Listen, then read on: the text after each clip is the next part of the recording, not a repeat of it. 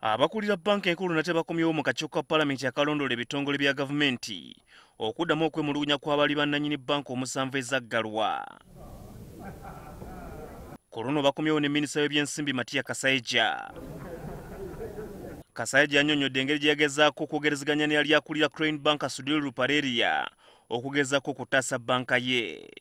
Ono ategeeza nga bwe yamuwa n'amagezi okutunda ku bimu ku by'obugagga bye okutaasa crane banka ne yeerema I rang uh, Mr. Sudi, said, Mr. Sudi, I don't want your bank to go under.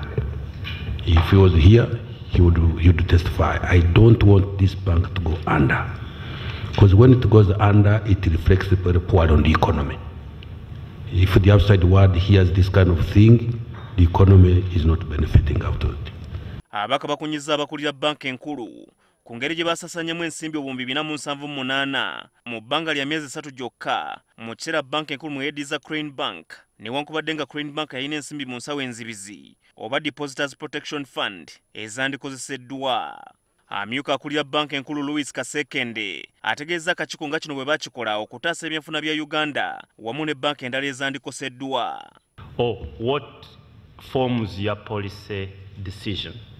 For you to say yes there is this depositors protection fund provided for but we shall use other money to pay but you take a decision for the stability of the system. The moment, this is a point that I have said several times, the moment you leave it open, then you meet the liquidity requirements. wabula ababaka batabukidde aba banka enkulu okwagala abaali bannanyini crane bank okusasula ensimbi zino. Newankubadde nga banka enkulu mu kiseera ekyo yali erabirira crane bank eyazisaasaanya yazisaasaanya. Because you see this sort of thing the resources you hold you hold them in trust actually.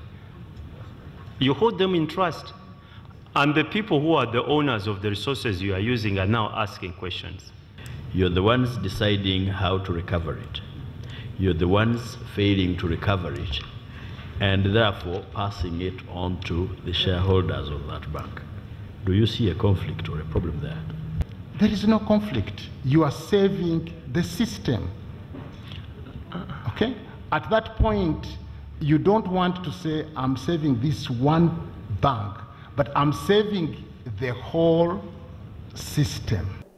ye borowa ate ye regulator mu sente kati ng'olaba ekyo kireetayo conflict kireetayo buzibu nti kubanga sente zino gwe zi- zifuna ebizibu ani a- a- a- ani agenda kuzi- kuzirondereza ani anaazinoonya kinajjukira nti mu desemba w'omwaka oguwedde akulira akakiiko kano abdu katuntu yalagira ssaababalizi w'ebitabo bya gavumenti okuddamu okukola okunoonyereza ku nsibuko wamu n'ensaasaanya y'ensimbi zino.